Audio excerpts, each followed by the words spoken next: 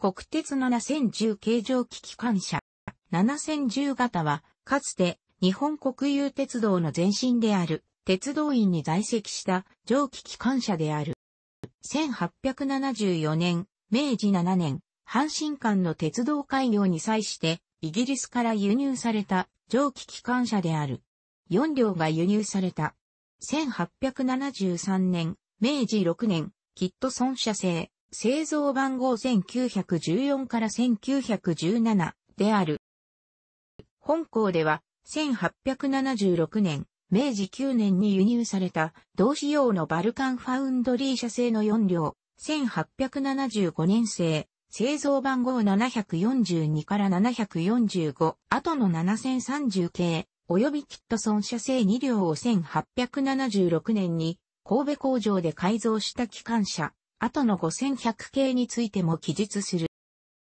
動輪直径は 1067mm、車軸配置0から6から0で2気筒単式の飽和式貨物列車用テンダー式蒸気機関車である。テンダー、淡水車は2軸。弁装置はアラン式、安全弁はサルター式で蒸気ドームがボイラー上に設けられている。バルカン製も基本寸法は同一であるが、旧噴式、ポップ式安全弁が増設されている。当時の様式にのっとって、機関車本体にはブレーキ装置は設けられず、テンダーのみに設けられていた。本型は同時期に輸入された2から4から0系タンク機関車に比べてあまり大きな改造をされずに使用され、機関車本体へのブレーキ装置の取り付けや、サルター式安全弁を外して、ラムズボトム式に交換した程度であるが、14のように、運転台を前方に拡大し、シリンダカバーも大型化された例もある。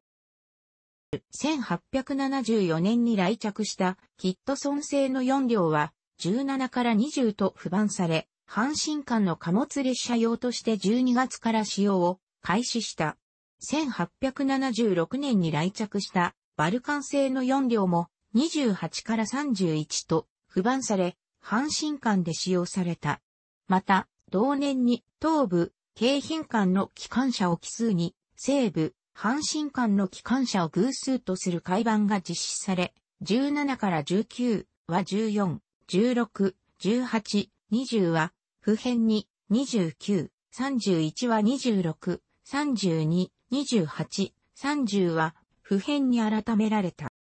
前述のように、1876年には、キット損製の2両、18、20が旅客用の4から4から0テンダー機関車に改造されている。詳細は5100系の節で記述する。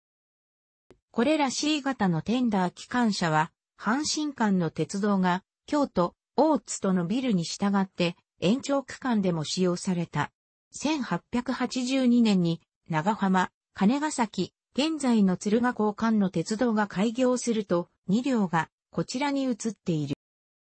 1894年、明治27年にはキットソン製、バルカン製とも U形に類別されたが、1898年、明治31年の鉄道作業局による分類では E1 型となり、同時にバルカン製の4両、26、28、30、32は25、27、29、30に改版された。1906年、明治39年に制定された鉄道国有法を受け、1909年、明治42年に制定された鉄道員の形式称号規定では、製造メーカーが違うことから形式が分けられ、キットソン製の2両は7010系、7010万7011に、バルカン製の4両は7030系に改められている。この時点で7010、7011は北海道鉄道管理局7030から7032は中部鉄道管理局7033は西部鉄道管理局に配置されていた。7010、7011は建設用として滝川市も富良野間などで使われたが、1914年11月に石狩石炭株式会社、1915年、大正4年に美梅鉄道に譲渡に払い下げられ、足別工業所専用鉄道で使用された。同社では、鉄道員時代のままの番号で使用され、7011は1940年、昭和15年に、カラフトの三菱石炭油化工業株式会社に移ったが、太平洋戦争後の消息は不明である。7010も1946年、昭和21年に三井鉱山株式会社に譲渡され、美梅鉄道版の沢駅に隣接する新美梅港で使用された。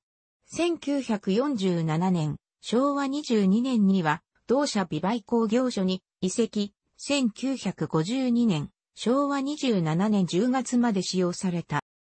7032、7033は、1915年4月に、越後鉄道、現在の東日本旅客鉄道、JR 東日本越後線、弥彦線に払い下げられ、同社の8、9となったが、9は1915年8月21日に、ボイラー爆発事故を起こし大破。1916年3月に7031と共に廃車となった7030が変わって引き渡され、2代目の9となった。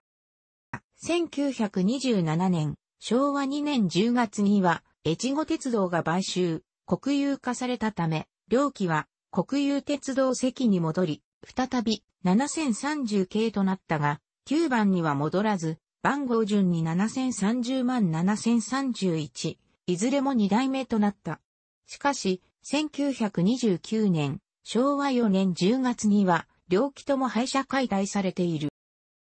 7010系の諸言を記す5100型は、1876年に貨物列車用のキットソン製 C 型蒸気機関車2両、18、20を神戸工場で旅客列車用の4から4から0型に改造したものである。この時点で本格的な旅客列車用としてキットソンに2バイト型機関車5130系が発注されていたが、京阪新幹鉄道の開業式には間に合っておらず、開業式においてお召し列車や旅客列車を運転するめ、どうしても旅客列車用の機関車が必要になったものと思われる。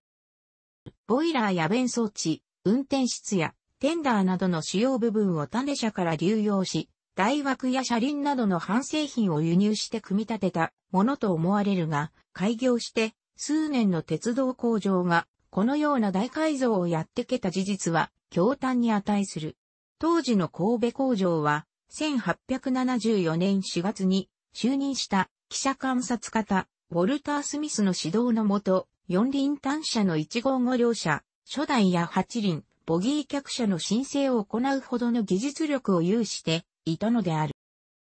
動輪直径は 1372mm、軸配置は4から4から0、2バイト、先は2軸、動輪2軸の意味の旅客列車用テンダー式蒸気機関車である。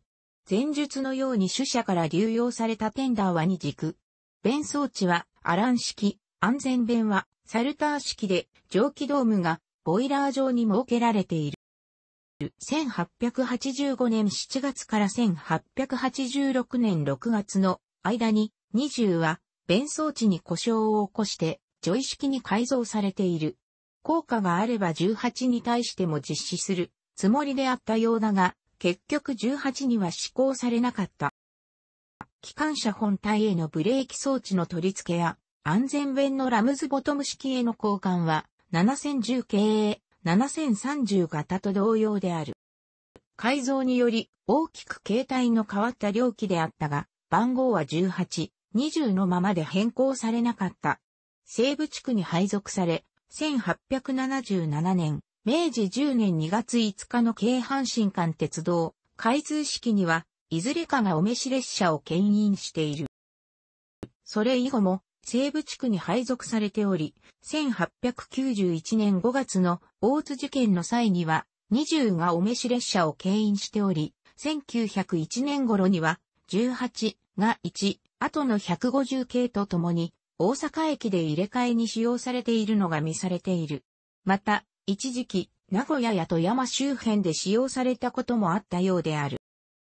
1894年には N 型に類別され、1898年の鉄道産業局による分類では D2 型となった。1909年の鉄道員の形式称号規定では、形式を5100型と定められ、番号は5100、5101に改められた。この時点では、2両とも西部鉄道管理局に配属され、神戸駅の入れ替え用に使用されていたが、1918年、大正7年8月21日付で2両とも廃車となっている。廃車後、両機は神戸機関庫構内に留置されていたが、同年11月28日、加減ベントブレーキを締め忘れていた3382、3380系が自然に動き出し、5101と221、220系を押し出して海に転落させるという事故が起こり、川崎造船所からクレーン船を借り出して引き上げるという騒ぎになっている。引き上げられた5101は、1920年、大正9年7月に5100とともに、相模鉄道、現在の JR 東日本相模線に払い下げられ、番号順200、101となった。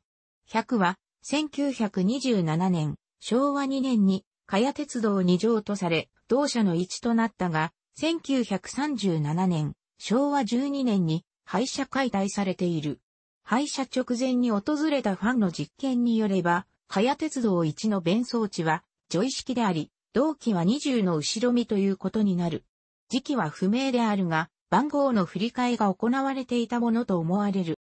101は、1930年代になると使用されなくなり、茅ヶ崎の車庫に突っ込まれたままとなっていた。1942年、昭和17年頃に尼崎の住友金属に貸し出されたが、その用途、目的はよくわかっていない。1950年、昭和25年に返却され、厚木に留置されたが、間もなく解体された。楽しくご覧になりましたら、購読と良いです。クリックしてください。